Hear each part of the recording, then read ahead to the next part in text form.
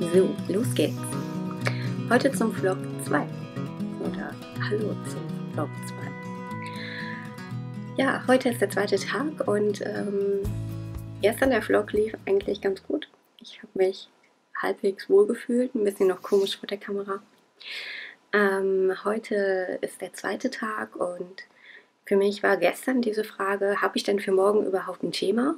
Kann ich morgen überhaupt über irgendwas sprechen, was passiert ist oder was mich bewegt? Und ja, wie das dann so ist, man fängt an zu suchen für Themen und äh, guckt einfach viel, viel genauer hin, wo entstehen auch Themen. Und ich habe dann tatsächlich was gefunden, aus dem Gespräch auch wieder heraus.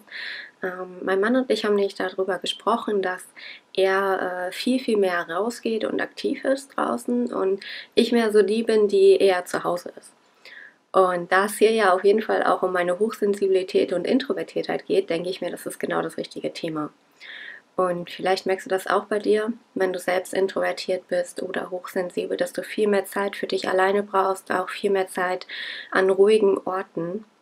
Und für mich ist das auf jeden Fall mein Zuhause. Für mich ist das auf jeden Fall so mein Rückzugsort. Ähm, ich bin jetzt gerade zum Beispiel hier im Schlafzimmer bei mir und äh, das ist so für mich richtig meine Oase, wo ich so abtauchen kann und ähm, auch meine Meditationen zum Beispiel sehr viel mache und mich wirklich entspannen kann und einfach richtig äh, eine Auszeit habe, wenn ich hier sitze. Also ich bin sehr viel dann in der Mittagspause einfach hier und entspanne mich hier und ähm, manchmal schlafe ich auch ein bisschen oder mache wirklich eine Meditation, um so die Sachen vom Vormittag einfach nochmal runterzuholen und ähm, meine Seele wieder so ein bisschen entspannen zu lassen. Und ja, das ist mit einer der wichtigsten Gründe, warum ich da zu Hause so die Energie auftanke.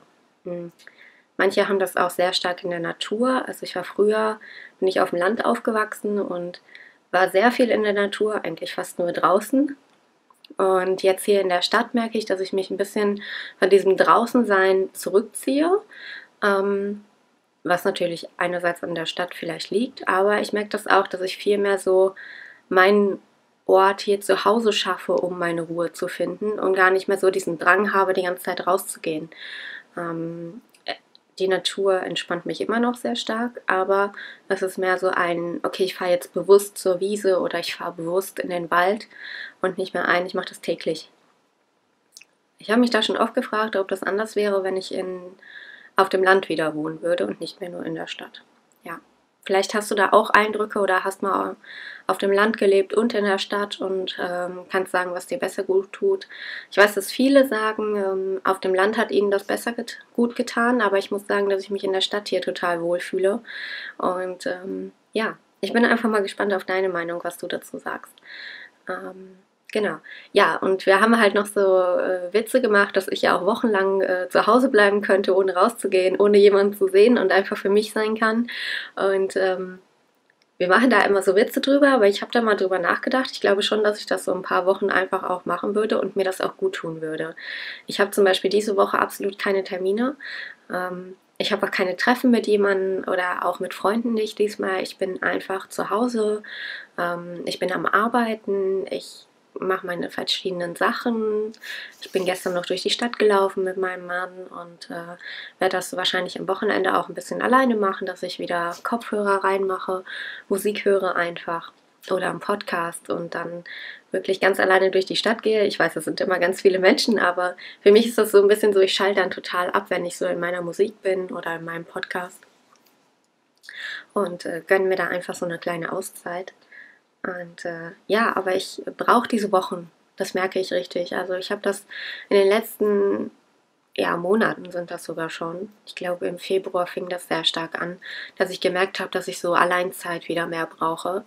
Ähm, witzigerweise, mein Mann stört mich überhaupt nicht, also der kann über, überall da sein, aber ähm, ich glaube, das ist noch was anderes, wenn das Familie ist. So, ja das ist noch was anderes irgendwie. Aber so alleine Zeit für mich ist mir sehr, sehr wichtig geworden und das tankt auch unheimlich viel Energie für mich auf.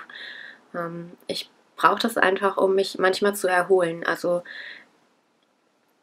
ja, das ist, äh, ich kann sogar mit Leuten sprechen, mit denen ich sehr gerne spreche, was ich sowieso fast nur noch versuche, dass ich mit Leuten mich auch treffe, die ich wirklich mag und wo ich weiß, da ist eine Verbindung und wir unterhalten uns sehr gut. Und das tut mir auch sehr, sehr gut. Aber ich merke halt manchmal, dass ich sogar ähm, bei diesen engen Freunden dann einfach eine gewisse Pause brauche. Und äh, ich schäme mich da immer so ein bisschen für. Ich habe sogar letztens eine E-Mail von einer bekommen, die auch ähm, meine Artikel gelesen hat bei Wominas und den Podcast gehört hat. Und die sagte auch, sie schämt sich so ein bisschen dafür, dass sie halt manchmal Auszeit von Freunden braucht. Und ähm, ja, ich brauche das auf jeden Fall auch und ich finde das ganz wichtig auch, dass ich das mal mit dir teile. Ähm, weil ich meine das gar nicht böse, aber ich merke das, dass ich da halt manchmal diesen persönlichen Kontakt gar nicht so viel brauche oder auch äh, telefonieren und sowas. Telefonieren tue ich fast gar nicht. Also ich habe da letztens mit meiner Mutter drüber gesprochen, wen ich so anrufe und das ist eigentlich nur sie und mein Mann und sonst rufe ich überhaupt keinen an, ähm, weil telefonieren einfach nicht meins ist. Ja, und äh, ja, auf jeden Fall brauche ich sehr viel Zeit für mich alleine. Ähm, dann merke ich aber wieder, wenn ich diese Energie wieder aufgeladen habe, dann freue ich mich so richtig immer auf so Treffen und ähm, miteinander dann wirklich auch. Ich mag es am liebsten halt im Café zu sitzen und miteinander ähm, was zu trinken oder also meistens Kaffee oder was zu essen und äh, gemeinsam dann diese Zeit zu genießen und wirklich da auch äh, sich auszutauschen und gucken, wie geht es der anderen Person. Ähm, ja, aber ich brauche das reduzierter und äh, mir tut das auf jeden Fall gut und ich merke das auch, ähm, dass ich zum Beispiel, wenn ich jeden Tag irgendwie einen Termin habe oder ein Treffen oder so, dann ist mir das sehr, sehr schnell zu viel und ich brauche meistens das ganze Wochenende, um mich wieder zu erholen, um wieder Energie aufzutanken. Deswegen, ähm, ja, ich bin sehr gerne alleine und ich finde das auch gar nichts Schlimmes. Ähm, es ist für mich ein Unterschied, ob du einsam bist oder ob du alleine bist. Und alleine sein, wenn man das bewusst wählt, finde ich das total schön. Ähm, vor allen Dingen denke ich mal, wenn du auch hochsensibel und introvertiert bist, hast du ja dieses einfach, dass du auch dich alleine sehr gut beschäftigen kannst. Also für mich reicht ein Buch. Im Moment lese ich mich durch ganz viele Blogs und Foren und ähm, schöpfe da einfach neue Ideen auch raus. Oder auch nur an meinen Ideen und Projekten zu arbeiten oder überhaupt Arbeit. Ich arbeite sehr gerne. ähm, das ist einfach, das gibt mir total viel äh, Kraft und äh, das bringt mir so viel Kreativität und auch so ein gutes Gefühl. Ähm, aber dafür brauche ich halt meine Zeit. So meine Zeit für mich und meine Zeit alleine. Ja. Und ähm, wenn du möchtest, schreib mir gerne in die Kommentare rein, dieser Vlog erscheint erst, wenn ich äh, 15 Folgen voll habe.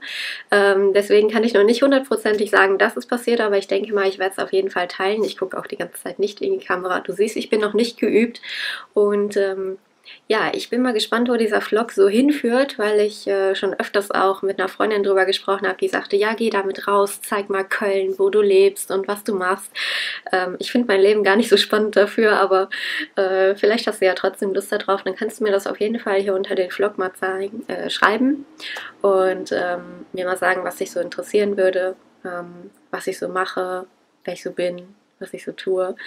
Ähm, ja, genau dann schauen wir mal. Und ich werde jetzt äh, mich wieder an meinen Schreibtisch setzen, denn es sind jetzt schon acht Minuten. Guck mal, der Vlog ist heute schon länger gegangen als gestern. Mal gucken.